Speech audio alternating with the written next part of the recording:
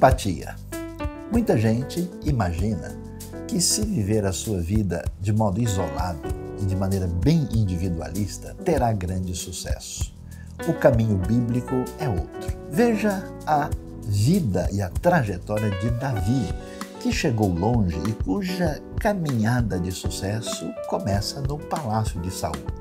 Ali ele vai encontrar o seu melhor amigo. Surge uma amizade tão profunda, séria e verdadeira entre Davi e Jonatas, e eles serão aliados constantemente. Se alguém quer caminhar nesta vida e ter uma verdadeira trajetória de sucesso, nunca poderá dispensar a presença dos outros, a realidade dos amigos e a condição de saber viver de fato com real empatia.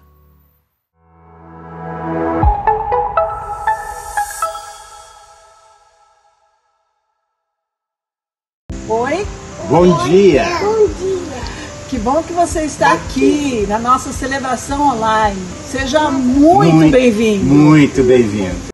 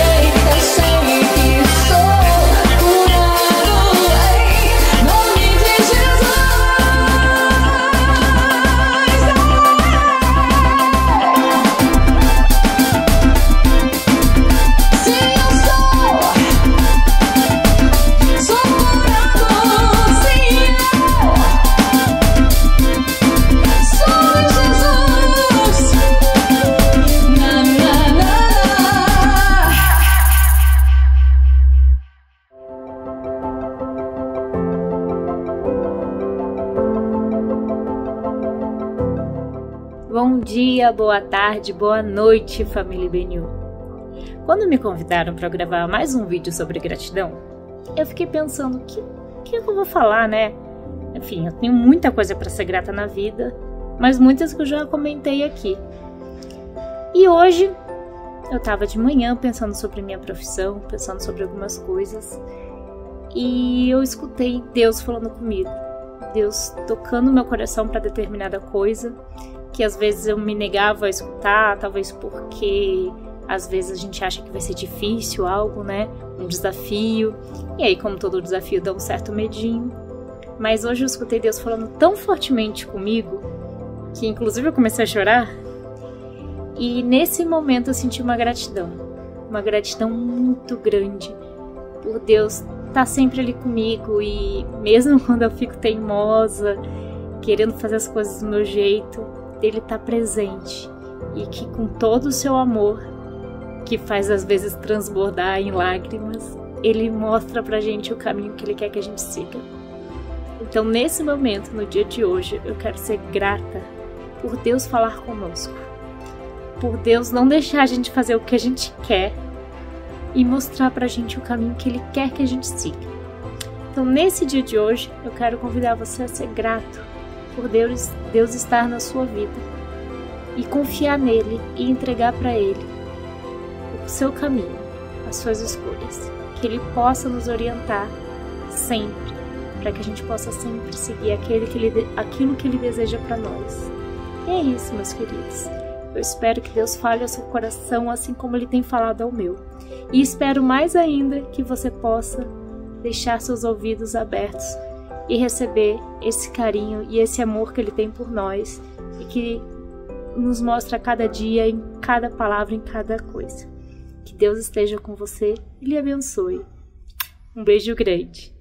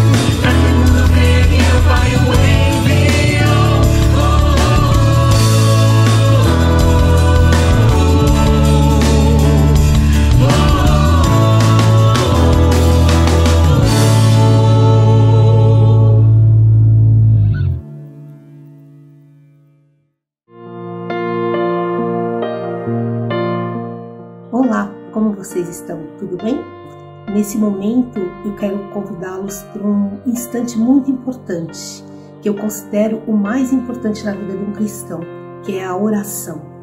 Você que estiver em qualquer lugar desse país ou do mundo, é, nós temos o privilégio de podermos nos achegar a Deus e em comunhão uns com os outros, em intimidade profunda com o nosso Pai, a gente pode estar levando diante dele tudo aquilo que inquieta o nosso coração, a nossa alma, a nossa mente, que é a oração, é o poder da oração, é estarmos conectados intimamente com o nosso Deus, ancorados na nossa fé diante do Senhor. E eu queria chamá-los para intercedermos por todos aqueles que têm algum tipo de dificuldade, de problema, que tem alguma coisa que está inquietando a sua alma. Vem comigo nesse momento, vamos interceder, levar diante do nosso Senhor.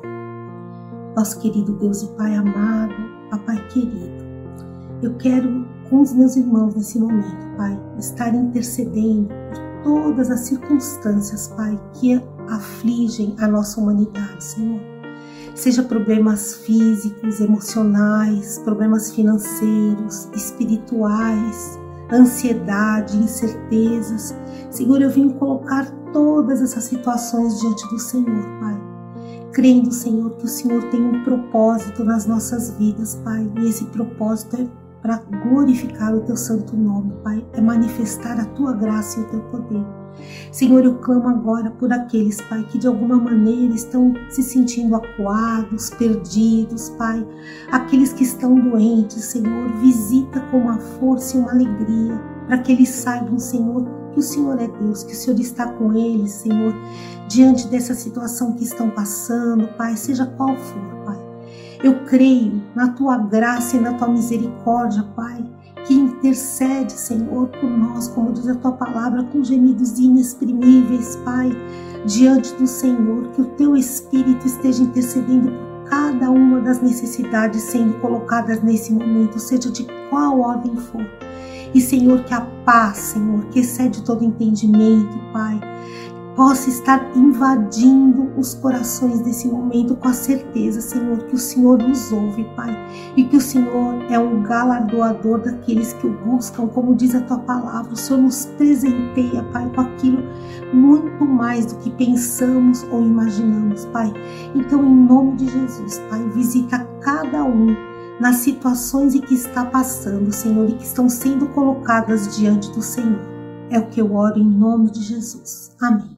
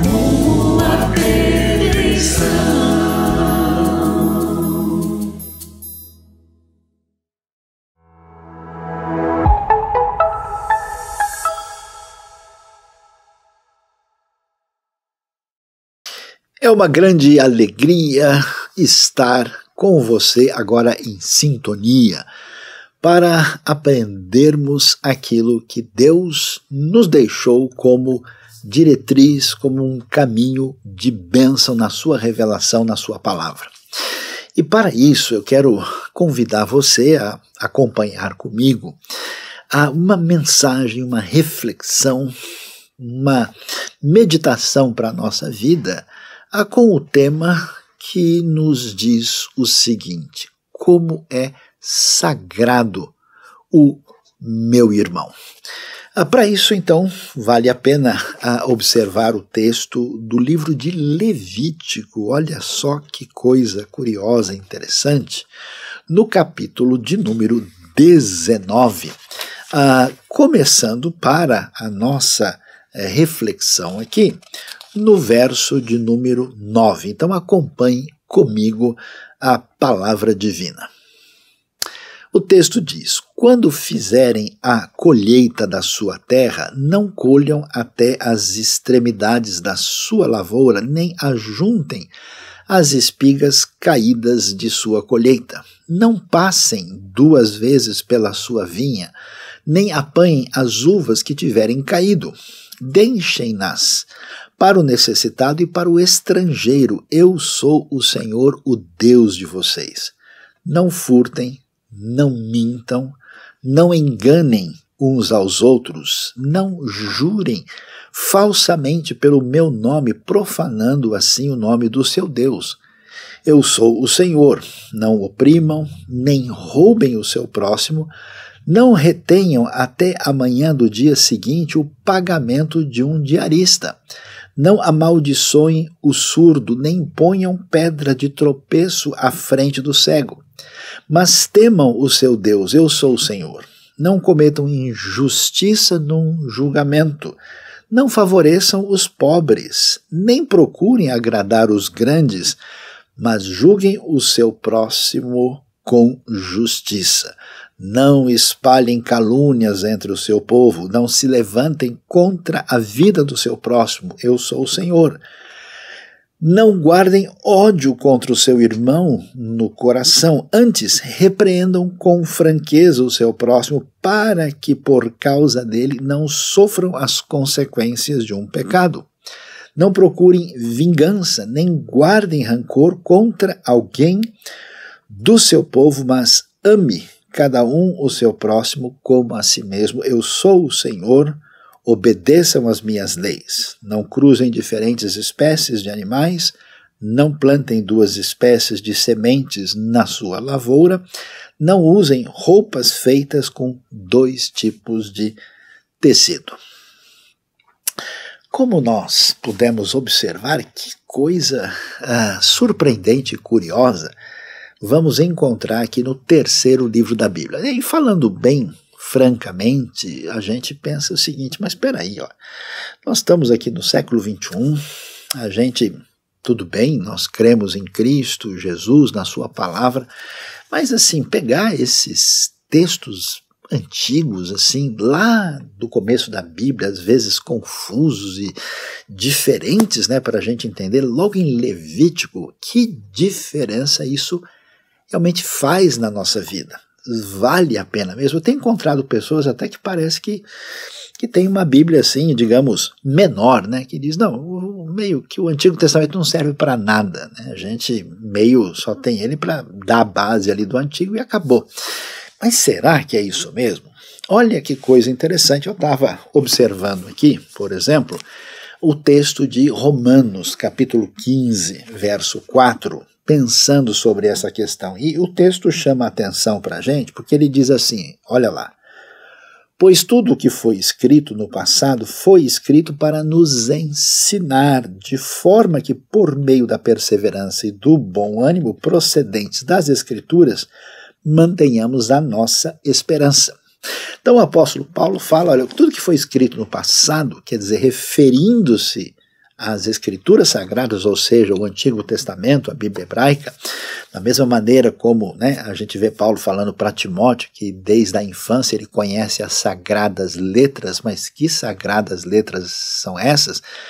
Exatamente, é a escritura que nós temos até esse momento, que Jesus toda hora faz referência, ele questiona os religiosos do seu tempo, dizendo: ó, vocês estão errados por não conhecerem as Escrituras e não conhecerem o poder de Deus. Até ele menciona que as Escrituras são que testificam dele. Então, nós vamos ver como o próprio ensino de Jesus, do apóstolo Paulo, uh, dão toda a referência para o Antigo Testamento.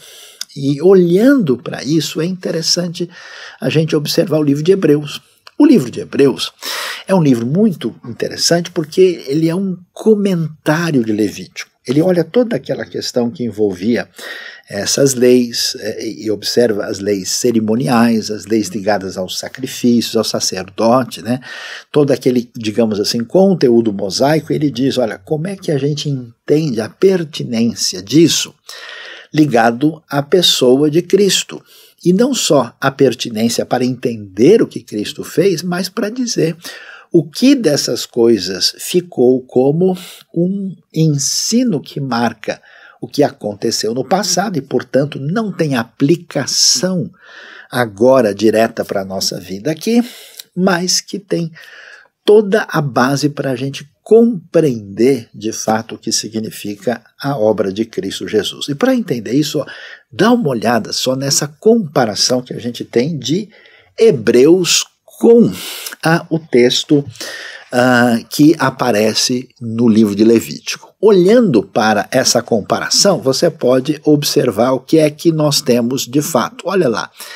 Em Levítico, nós temos o sacrifício de animais, e enquanto o sacrifício de Jesus ou de Yeshua, na linguagem hebraica, é realizado, nós temos a clara palavra de Hebreus que é impossível né, eliminar pecados com o sacrifício dos animais, mas Jesus paga o pecado de maneira completa. Esses sacrifícios antigos eram oferecidos com frequência. Jesus, Hebreus 9 vai dizer, foi oferecido de uma única vez. Aquilo que acontece em Levítico no Antigo Testamento é no santuário terrestre. Cristo faz um sacrifício perfeito naquilo que é chamado de o santuário celestial. O sangue era aspergido na tampa da arca no propiciatório e agora Yeshua, ou seja, Jesus, é a propiciação pelos nossos pecados de uma maneira completa e definitiva. Somente o sumo sacerdote podia entrar uma vez por ano no lugar que era o santuário, mais especificamente no lugar santíssimo. Pois é, Jesus, é, o nosso sumo sacerdote, fez a, a obra de expiação completa, de modo que agora nós podemos entrar no santuário, no Santo dos Santos, com uma espécie de ousadia né, que Deus nos dá, e tudo o que aconteceu no passado era através de um sacerdote limitado, imperfeito, que inclusive ele mesmo precisava né, de alguma coisa para a, a, sua própria purificação e perdão. Em Cristo Jesus nós temos sacerdote perfeito. Então você percebe que se você não conhecer bem a palavra de Deus, essa base você não entende de verdade o que temos no Novo Testamento. E olhando para Levítico e para todo esse ensinamento, olha que coisa interessante que a gente vai descobrir. Os antigos hebreus tinham uma maneira de escrever na qual eles combinavam assim uma espécie de estrutura para que tudo ficasse muito bem lembrado. Essa estrutura, né, que começava falando de um tema, encadeava né, vários, do, depois de um tema central, ela voltava e reforçava tudo isso. Quando você olha para todo o Pentateuco, toda a Torá, toda a lei de Deus, o que é que você vai ver? Olha que coisa interessante. Nós temos lá na base né, o livro de Gênesis como o primeiro livro e o Deuteronômio. Os dois vão tratar muito essa questão de Deus agindo para formar a nação e o papel da nação no contraste com aqueles que não conhecem o Deus verdadeiro. Então, na ponta de cá, Gênesis, e aqui do outro lado do Deuteronômio, como você pode acompanhar no nosso gráfico aqui. Ao mesmo tempo, depois você tem Êxodo, que é paralelo de Números. Os dois falam muito né, dessa libertação do povo no deserto, de tudo que acontece. E no centro está o quê? Levítico. Mas é mais do que ter Levítico no centro. O que chama atenção é como você tem Levítico do capítulo 1 ao 7 e ao mesmo tempo a parte final de Levítico, né, especialmente capítulos 23 a 25, porque o 26 e 27 é uma espécie de desfecho que faz a conexão com o que vem depois. Você tem as leis ligadas ao santuário, que são muito detalhadas, né, aos sacrifícios que aparecem lá. Depois, capítulo 8 a 10 e o 21 a 22 tratam das leis ligadas aos sacerdotes. E, na sequência, do 11 ao 16, do 17 ao 20, que está incluído o que a gente leu agora, são leis entre as pessoas, do comportamento delas. E sabe qual é a ponta? Olha que coisa impressionante. Sabe qual é o centro de tudo? É o capítulo de número 16, que é do Yom Kippur, do dia da purificação. Então, nessa pirâmide teológica extraordinária, Levítico 16 apresenta essa realidade da ação de Deus de perdão, de purificação, do dia especial do perdão dado ali no famoso Yom Kippur. Quando a gente descobre tudo isso, a gente está mais preparado para poder, de fato, lidar adequadamente com o que nós vamos encontrar em Levítico 19. Então, agora, vamos prestar atenção nesse texto, porque ele chama a nossa atenção de maneira muito peculiar. Porque ele vai tratar daquilo que envolve o relacionamento entre as pessoas. E vamos conversar sério aqui. Que coisa difícil é esse negócio de se relacionar com os outros. Meus queridos, o, o mundo, nosso mundo, supostamente de progresso e desenvolvimento, desde a fundação da Organização das Nações Unidas, a ideia era procurar dar um jeito de manter paz no mundo. Desde que a ONU foi fundada, nunca deixou de haver conflito e guerra em tudo quanto é lugar. E o mais impressionante é que parece que quanto nós temos mais evolução tecnológica, a gente tem né, o desenvolvimento da microbiologia, o desenvolvimento ah, da tecnologia no nível digital, ah, todo esse conglomerado de coisa parece que ainda aumenta o nível de tensão e a capacidade de destruição. Se isso acontece no nível macro, a gente vê as famílias, a gente vê as comunidades religiosas, a gente vê as pessoas, né? Como o pessoal gosta de dizer na internet, ou capacidade de criar treta. Desculpe a palavra aqui que não é a mais bela, mas é tão impressionante, vamos dizer assim, essa vergonhosa emancipação da violência gratuita. Por isso esse tema é tão importante. E eu acho curioso quando a gente lê um texto que a gente diz, ah, isso é Velho Testamento, isso é Levítico, daquelas coisas lá, quanta lição extraordinária tem para gente para mostrar, e, é bonito que eu acho é isso, né? Que você vê no, no, quando vai falar do ponto de equilíbrio assim tão extraordinário da própria lei de Deus falando do lugar santíssimo e do perdão divino, do lado estão o quê? As leis que falam do relacionamento das pessoas. Então preste atenção. Se você não é capaz de entender como é sagrado seu irmão, se você não entende a importância do relacionamento com o próximo, se você não entende a importância do perdão no nível pessoal ou familiar, se você não entende isso, a gente precisa voltar e ler a palavra de Deus outra vez. Né? Como é complicado o desgaste, a desconexão é, e a coisa maluca. Alguém disse para mim uma vez algo que eu passei dias assim pensando que o único exército que atira nos seus próprios soldados e os abandona no meio da caminhada é o exército do povo de Deus. Pode um negócio desse? E aí, olhando agora para Levítico 19, vamos ver o que é que Deus tem a nos ensinar na extraordinária sabedoria da sua palavra para nós. O interessante é, é, é, assim, o texto que a gente não leu. O começo do capítulo 19, ele vai falar Uma coisa assim que parece que não tem muita conexão. Ele começa dizendo que Deus diz para todos nós: sejam santos, porque o Senhor, o Deus de vocês, sou santo. Então nós somos convidados, não só uma compreensão da santificação do ritual, santificação do culto, não, essa santidade, ou seja, esse perfil diferenciado que vem de Deus, precisa fazer parte da nossa vida.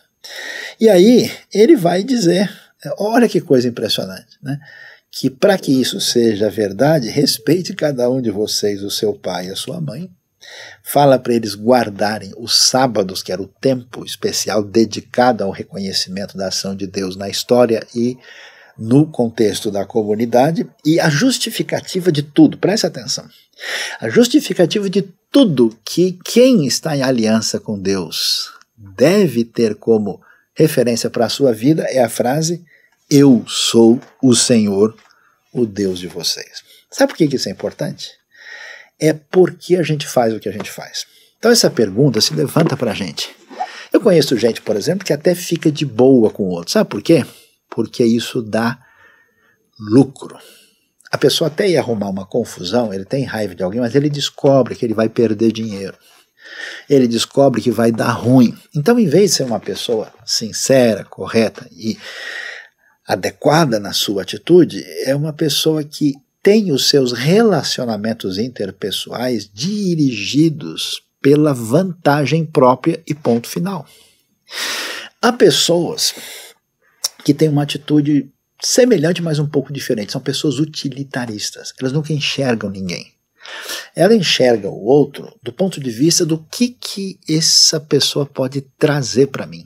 Então, se eu estiver conversando com uma pessoa e descobrir que de repente pode rolar algum negócio, alguma vantagem pessoal, alguma visibilidade diferenciada, uma chance de ter uh, uma, um desdobramento pragmático, opa, eu quero ser seu amigo. Sabe aquela história da pessoa que conversa com você, dá bom dia e tal, e não sabe quem a pessoa é, e de repente ele, alguém diz, sabe o fulano, a fulana? Pois é, eles são assim, ah é, opa, então ele vai lá e cumprimenta de novo. Então é mais ou menos isso que acontece nesse cenário. E alguém pode pensar, por que que eu preciso tratar bem o meu irmão? Por que que é importante o relacionamento não somente na vertical, mas no horizontal também. Por que, que Deus vai dizer sobre amar o irmão? A resposta é: Eu sou o Senhor.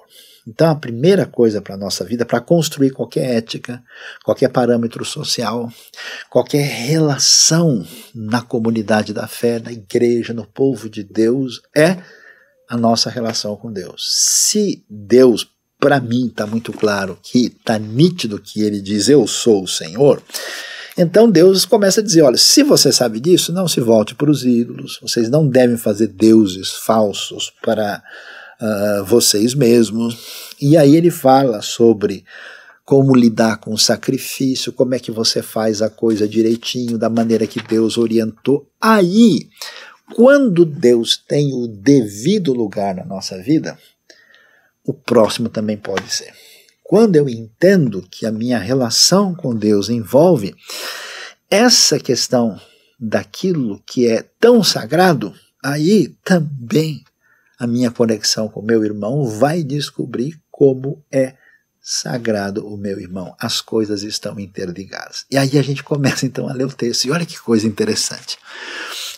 A primeira coisa que chama atenção para a gente é a gente ver o que a gente chama de um tratamento de isonomia do relacionamento entre as pessoas. Por quê? Porque a razão por que uma pessoa rompe a ética e se entrega à maldade e passa a agir numa postura de oposição, de ruptura e até mesmo de hostilidade para com o próximo, é porque essa pessoa de alguma maneira ela se coloca numa situação diferenciada acima do próximo. Então, toda vez que alguém fez na história humana a prática da escravidão, a prática da opressão, ela sempre fez questão ou de maneira religiosa, ou de maneira social, ou de maneira racial, de qualquer tipo, criar uma justificativa. É interessante como nas leis de Levítico a gente precisa entender primeira coisa, que você pode se achar que você seja o que você quiser. A verdade é que você não é melhor do que ninguém. E você não tem o direito de fazer qualquer coisa contra o próximo na base de que você tem alguma razão para isso. Por isso o texto vai dizer coisas tão básicas assim, dizendo: não furtem. Ou seja, não furtem no original quer dizer simplesmente não furtem. Não tome nada que não é seu. Seja honesto. Não mintam. Quando você mente, você trai a relação de proximidade, de fraternidade para com o outro. Não enganem uns aos outros. Você percebe? Esses mandamentos estabelecem para nós toda a realidade da justiça igual entre todas as pessoas, rejeitando qualquer partidarismo, qualquer suposta prepotência, qual é a atitude que nos coloca numa situação que justifica nossas atitudes erradas diante do próximo, porque a gente se sente numa condição diferente. Já viu aquela história? Ah, mas o fulano fez isso lá no escritório. Ah, mas ele é o chefe. Que chefe? Chefe é Deus sobre nós. Não engane, não minta, não furte. Todos estamos debaixo da autoridade maior que é o Senhor. Mas a coisa se complica. E no mundo antigo era muito mais complicado. Por quê? Porque uma vez que você constrói uma sociedade injusta e perversa, quando o seu irmão, mas nem sagrado nada, ele é simplesmente desprezível e utilizável diante de você.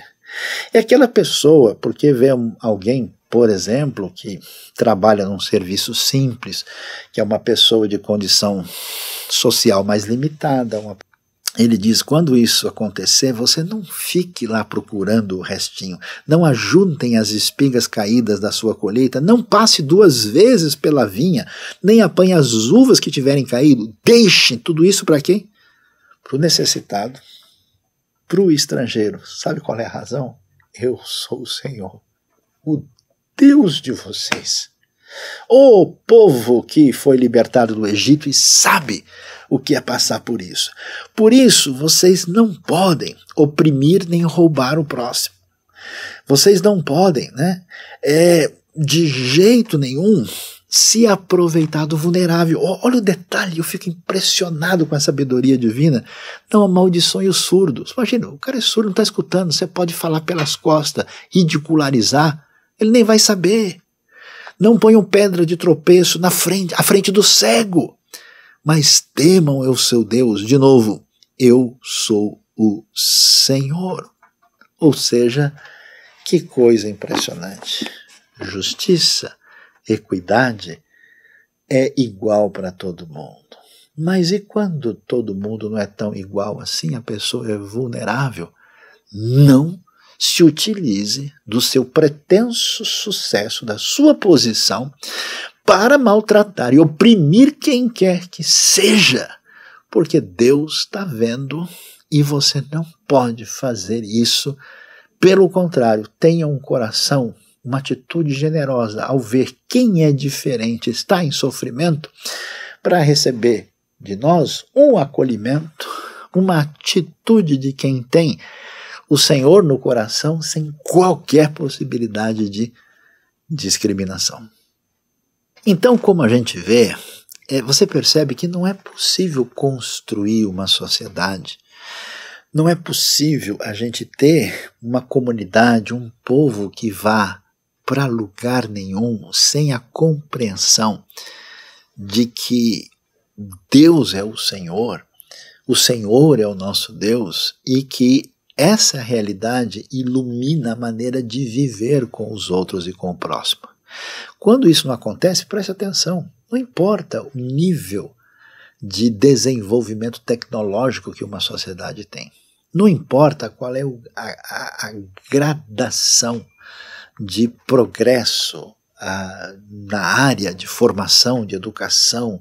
A gente vê em vários lugares do mundo gente muito bem instruída sem saber o que fazer da vida. Não importa quanto recurso a gente tem, você tem uma deterioração, uma destruição da própria realidade social, da realidade comunitária. Então a sabedoria divina é fundamental. E ela dá dica para a gente como a aplicação divina naquilo que precisa ser observado. Né? Como é que eu trato quem é igual? Está bem claro assim. Não vá enganar, se aproveitar da pessoa. Como é que eu trato quem está numa situação de fragilidade, vulnerabilidade, com uma atitude semelhante ao que Deus tem por mim? Nunca se aproveitando da pessoa, mas sempre estendendo a mão que se volta para o pobre, para o necessitado, para o estrangeiro, para aquele que está numa situação de necessidade, né? Não se aproveitar. Olha que coisa interessante, não se aproveitar do trabalhador, trabalhador diarista segurando o pagamento dele até não sei quando. Você imagina, a pessoa precisa disso. Como, olha, cá entre nós, como eu conheço gente que se diz ligado a Deus e é enrolão. Passa a perna no outro, dá o tombo, fica dizendo que vai acertar e acha que isso, como se diz, não tem nada a ver. E é interessante ver que o texto continua e a gente pensa, ah, Sael, já entendi tudo, né? Quer dizer o seguinte, esse mundo é assim mesmo, e o pessoal que se deu bem, a gente tem que chegar, pegar pesado, e eles têm que carregar todo mundo nas costas. E o pessoal que está no sufoco, lá na situação ruim, eles vão fazer tudo errado e a gente tem que ser legal e bondoso e tratar aqui, no fundo, não tem um, dois pesos e duas medidas? Olha só o que Deus diz. Veja que coisa. É impressionante a, a, a perfeição da palavra divina. O texto vai dizer o seguinte: não cometam injustiça, verso 15, num julgamento. Atenção, não favoreçam os pobres, nem procurem agradar os grandes, ou seja, os ricos, mas julgue o seu próximo com justiça. Viu que coisa interessante? Não é porque a pessoa está numa condição frágil e limitada que tudo que ela faz está certo. Que ela também não precisa de correção. Não é esse viés, né, vamos assim dizer, muitas vezes, que a gente chama de perfil vitimista, que deve prevalecer. A justiça é a justiça, e o texto é claro: olha, você nunca favoreça um pobre num julgamento se ele é culpado, porque a justiça é que vale. E você também não se venda para o rico, para o grande, porque ele é poderoso e você tem temor que ele prejudique, você não, você deve exercer a justiça. Preste atenção, se a gente perder o temor de Deus, se a gente perder essa dimensão, eu sou o Senhor, o Deus de vocês, eu sou o Santo, e abrir mão dessa perspectiva na vida, não sobra justiça, equidade e honestidade para construir a comunidade a sociedade, a nossa relação da nossa vida. O Senhor é sagrado, o Senhor da criação e da salvação que nos deu o nosso irmão e como é sagrado o meu irmão. Olhando para isso, a coisa vai se desenvolvendo na sabedoria bíblica. E a gente fica pensando, mas que coisa, né? Como é que a gente pode, talvez, fazer uma coisa tão pequena que envenene e acabe com tudo. Qual que é a bomba explosiva que pode realmente fazer mais mal do que um tratamento problemático contra o outro? O texto é muito claro. Não espalhem calúnias entre o seu povo. Não se levante contra a vida do seu próximo. Eu sou o Senhor. Você já viu isso? A famosa fofoca a fofoca domesticada, religiosa, que a gente chega e diz: Ó, eu não ia nem falar nada, né, mas cá entre nós, sabe o fulano? Então, sabe a fulana? Isso dentro da família, isso dentro da comunidade, isso dentro da igreja. Quer dizer, se você vai falar sobre alguém, coisa que você nunca teria coragem de falar para a própria pessoa, esqueça. A não ser que você tenha a hombridade, a honestidade de querer falar para dizer para a pessoa, fulano, olha, assim não, não dá, tá errado. E você ficar só falando pelas costas, ou pior ainda, falando aquilo que nem aconteceu.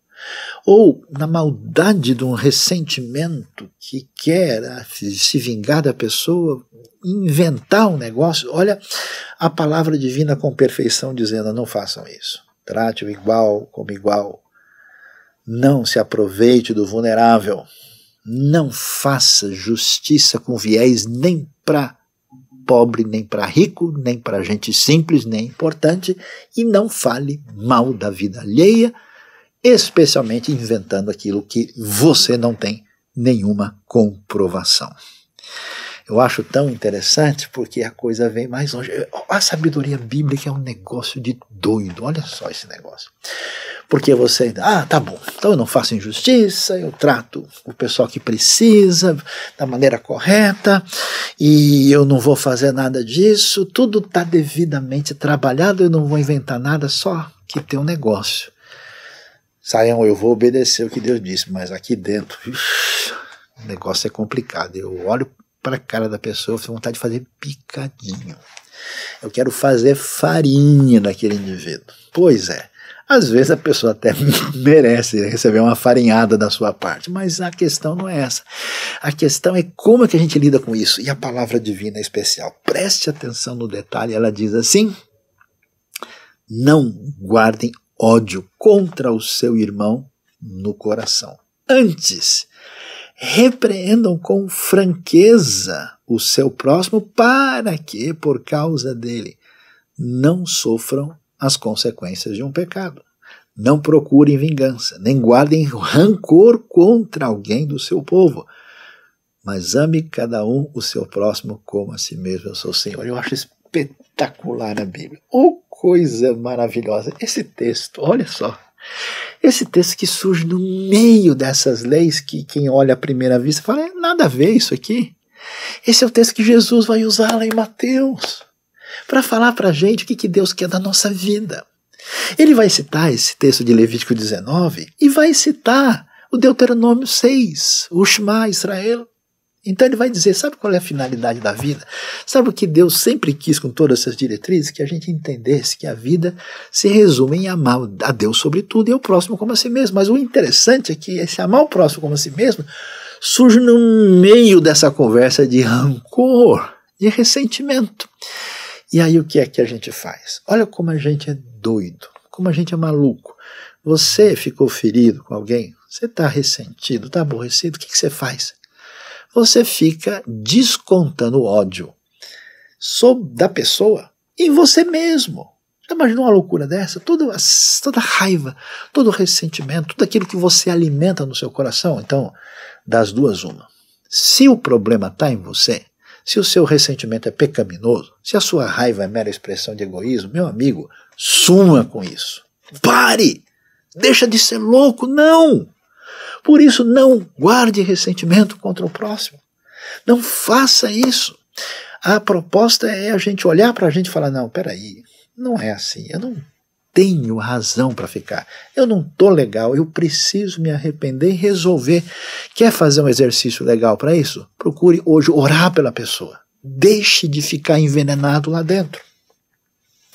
Agora, às vezes, a coisa não é tão simples assim. Às vezes, a gente tem que criar aquela coragem em vez de falar pelas costas, em vez de ficar naquela coisa assim de né, fazer fermentar o que não vai ajudar ninguém, olha a sabedoria bíblica, repreenda o seu próximo com franqueza. Ou seja, tem uma situação que precisa ser resolvida. Às vezes tem alguém prejudicando os outros. Às vezes tem alguém roubando. Às vezes tem alguém de fato se aproveitando. Às vezes tem alguém praticando um crime sexual contra uma pessoa vulnerável. Não pode simplesmente deixar para lá. Não! Então você chega para a pessoa e diz: Fulano, preciso conversar com você. Bem, escuta, eu vi um negócio. É isso mesmo? Agora preste atenção. Me ajude, fique em sintonia com isso. O que, que Jesus quis dizer, pegando o Levítico? Que você deve amar o próximo. O que, que é amar o próximo? É que tirar o próximo da condição de que o pecado levou a pessoa. Não é que a gente quer que ele se exploda e se arrebente. Não! É que você quer chegar lá e falar: quero tirar você do buraco. Então, se você não tem intenção de salvar, se você não tem intenção de ajudar, nem vale a pena pôr a mão. Então, converta o seu coração e faça alguma coisa com a intenção de trazer a pessoa. E aí você precisa ser franco. Dizer: olha, peraí, é verdade isso que eu ouço a seu respeito? Aconteceu o negócio? Não faz isso, não, cara. Não arruma isso lá. Devolve o dinheiro. Pede desculpa para a família. Nunca mais. Você viu o que aconteceu lá por causa disso? Não. Então, é, toda essa nossa, essa nossa, é, vamos dizer, esse nosso cenário é, assim social, onde a gente brinca desse jogo do faz de conta, o texto bíblico diz, ó, isso aí não tem nada a ver com santo é o Senhor. Então é necessário achar o caminho certo de abrir o jogo para lidar com a coisa da perspectiva da justiça e da verdade. Mas atenção, não permita que o seu coração se encha de ódio e nessa atitude você procure se vingar da pessoa. Várias vezes na minha vida eu encontrei pessoas que me prejudicaram ou que eu vi fazer coisas que eu fiquei indignado. E foi uma tentação para mim, porque eu de fato queria, deu vontade de prejudicar a pessoa. Falei, puxa, agora a pessoa está na minha mão. Eu posso dizer A ou B. E aí foi o momento de eu, confrontado pela palavra de Deus, dizer: não, você não pode. Se você fizer isso, você não está sendo discípulo de Jesus. Então, tive que voltar atrás, pensar e dizer: Senhor, mesmo que eu tenha todas as minhas razões humanas, eu não posso me aventurar a tomar uma atitude com a intenção de prejudicar a pessoa. E aí, a gente lê tudo isso e de repente você lê o texto e fala: puxa vida, sabe, eu tô lendo uns negócios aqui que eu não entendi nada. E sim, sendo sincero com você, eu olho alguns também que eu parece que eu não entendo. E aí, o que, que aparece na sequência? O texto vai dizer o seguinte: não cruzem diferentes espécies de animais. Não plantem duas espécies de semente na lavoura. Não use roupa com dois tipos de tecido diferente. E continuando a partir do verso 23, olha só, acompanhe comigo. Quando vocês entrarem na terra e plantarem qualquer tipo de árvore frutífera, considerem proibidas as suas frutas, durante três anos vocês as considerarão proibidas, não poderão comê-las. No quarto ano, todas as suas frutas serão santas, será uma oferta de louvor ao Senhor. No quinto ano, porém, vocês poderão comer as suas frutas, assim a sua colheita aumentará. Eu sou o Senhor, o Deus de vocês. Não como nada com sangue. Não pratique adivinhação nem feitiçaria. Não corte o cabelo dos lados da cabeça, nem apare pom, as pontas da barba. Não façam cortes no corpo por causa dos mortos, nem tatuagens em si mesmo. Eu sou o Senhor. Ninguém desonre a sua filha tornando-a prostituta, senão a terra se entregará à prostituição e se encherá de perversidade. Guardem os meus sábados e reverenciem o meu santuário, eu sou o Senhor. Não recorram a médiums, nem busquem a quem consulta espíritos, pois vocês serão contaminados por ele. Eu sou o Deus, Senhor, o Deus de vocês. Levantem-se na presença dos idosos, honre os anciãos, temam o seu Deus, eu sou o Senhor. Quando um estrangeiro que viver na terra de vocês, uh, o estrangeiro residente que não, não maltratem. O estrangeiro residente que viver com vocês deverá ser tratado como natural da terra.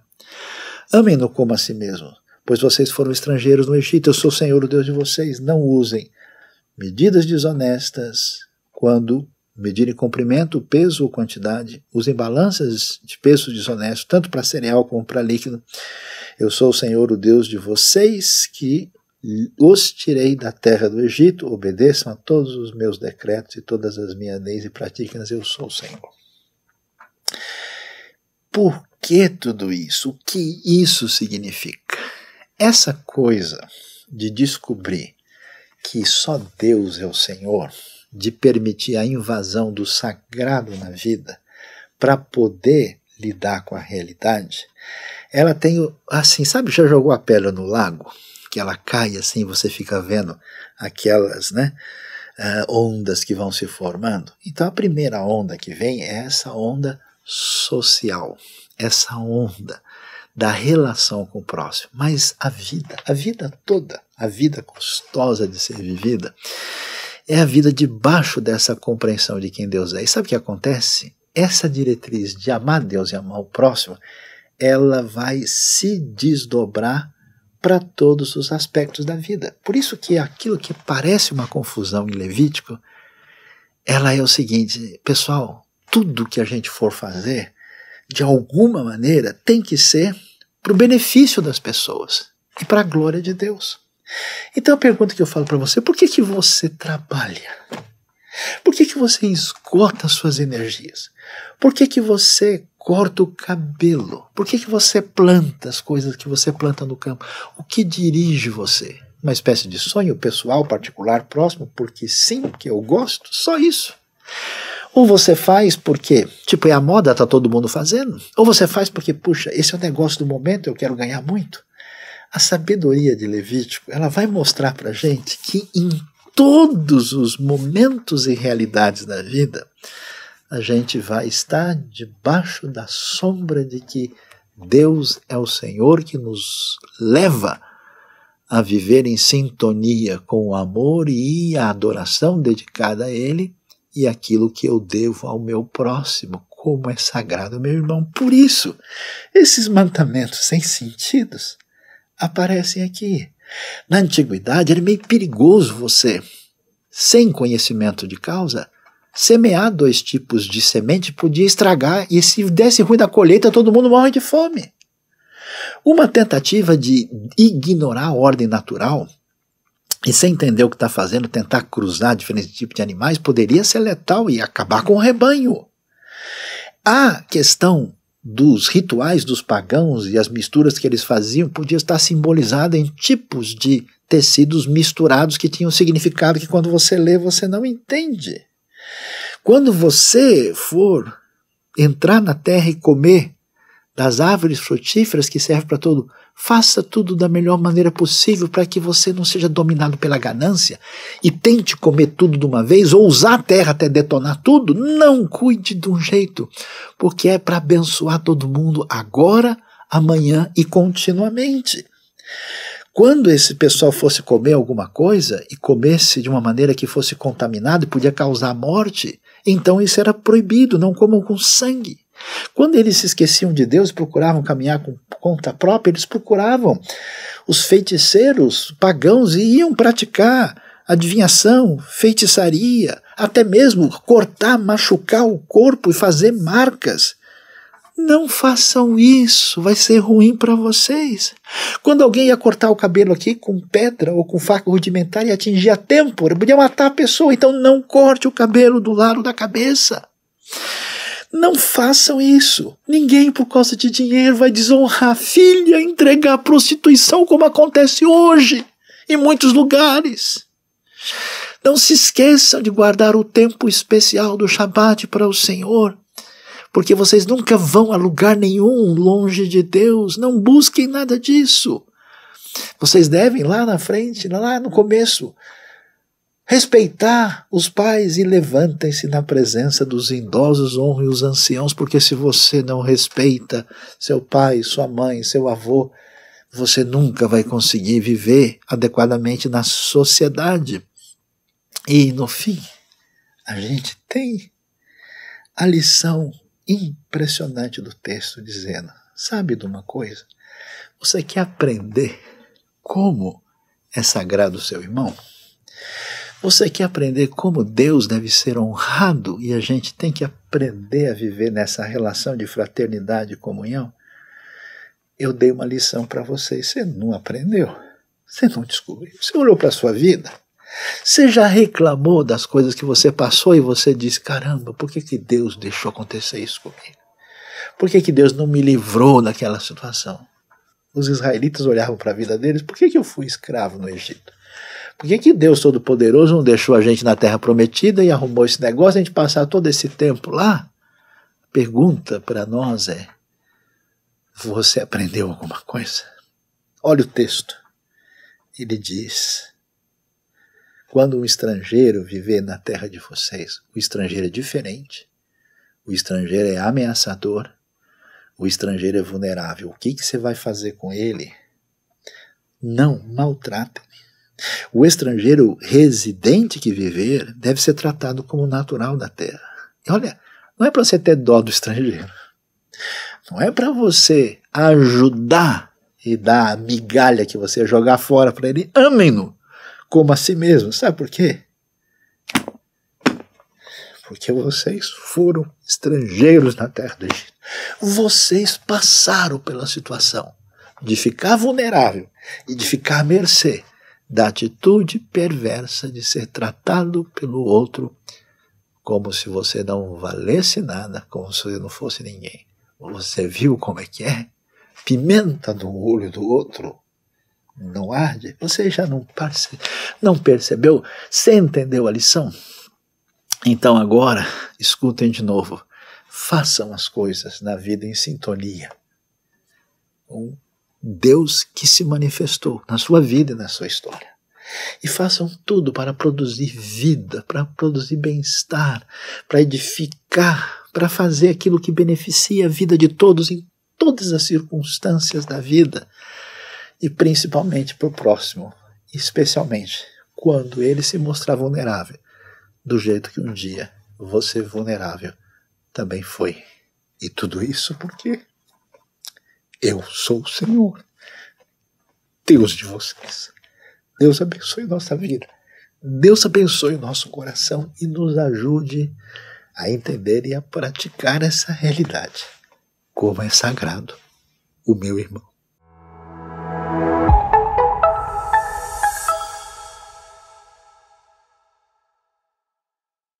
Campanha IBNU Espaço Sagrado.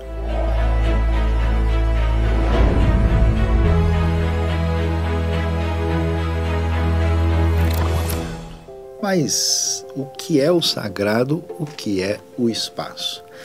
O nosso espaço IBNU quer se tornar um espaço caprichado e ampliado para abençoar o que é mais sagrado, que são as pessoas que Deus ama.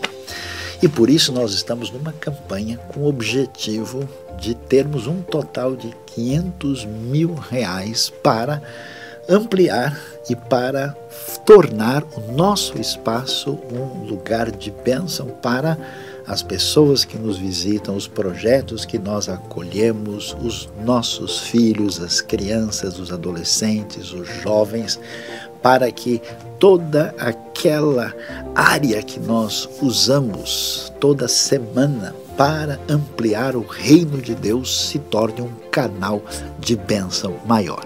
Então, participe conosco, envie a sua oferta, a sua contribuição, o seu investimento no reino de Deus nesse espaço sagrado, espaço ampliado e caprichado para aquilo que é mais sagrado. A IBNU tem participado junto com outras pessoas e com outras organizações parceiras em atividades de apoio humanitário, de apoio evangelístico, de apoio de esperança em vários lugares do Brasil e do mundo. Aqui na cidade de São Paulo, nós temos apoio em comunidades carentes, nós temos apoio em projetos que trabalham com pessoas que moram debaixo dos viadutos aqui de São Paulo. Nós apoiamos é, um trabalho de reforço escolar e de mudança de vida lá no Nordeste, no sertão do Piauí.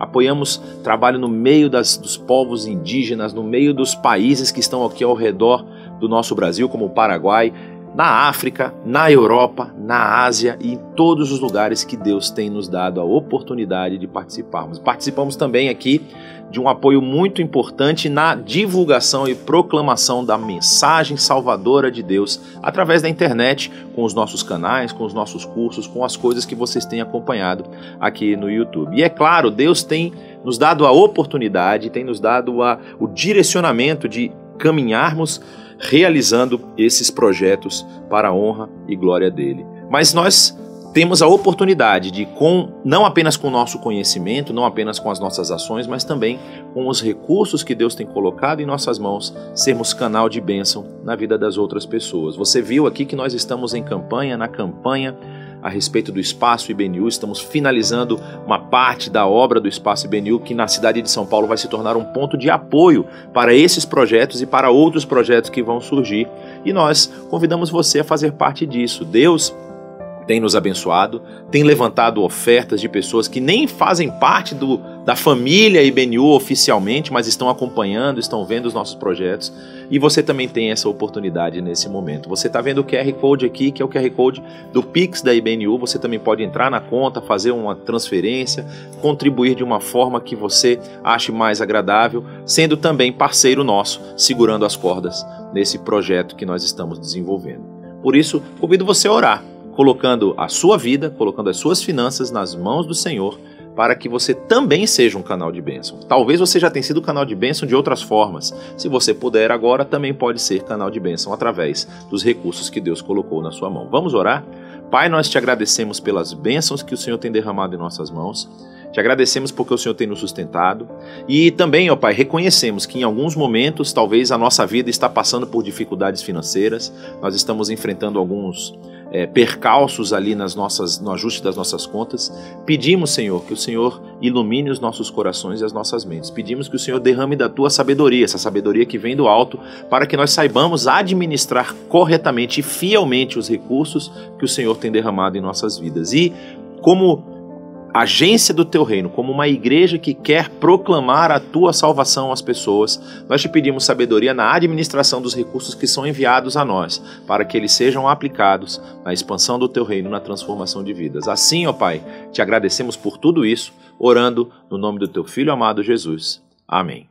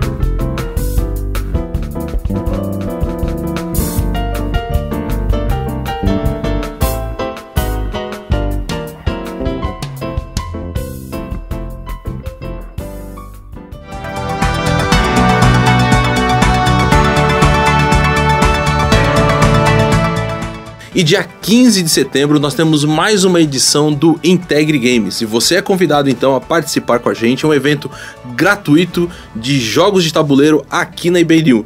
Das 14 horas até as 20 horas. Vem jogar com a gente. Sábado, dia 21, às 15h30, nós temos o encontro presencial aqui na IBNU do Ministério de Oração. Entre em contato com a Conexão para ter maiores informações. No dia 26, às 21 horas, nós temos o encontro online de oração promovido pelo Ministério de Mulheres aqui da IBNU. O que você precisa fazer é entrar em contato com a Conexão para receber o formulário de inscrição, para no dia você receber o link e participar conosco. E no dia 30 desse mês, 30 de setembro, às 21 horas, nós temos um encontro online de oração do Ministério de Oração. É convite para todos vocês participarem. O que você precisa fazer? Entrar em contato com a conexão. Lá você vai ter o formulário para você se inscrever para esse dia e no dia você vai receber no seu WhatsApp o link para a sala virtual. Participe, ore conosco. E chegamos ao final de mais uma celebração. Foi muito bom ter você com a gente. E não para por aí, porque tem muita coisa acontecendo durante a semana aqui no canal da IBNU. Siga as nossas redes sociais no Instagram, no Facebook, acompanhe o ensino e a gente se vê semana que vem. Até lá!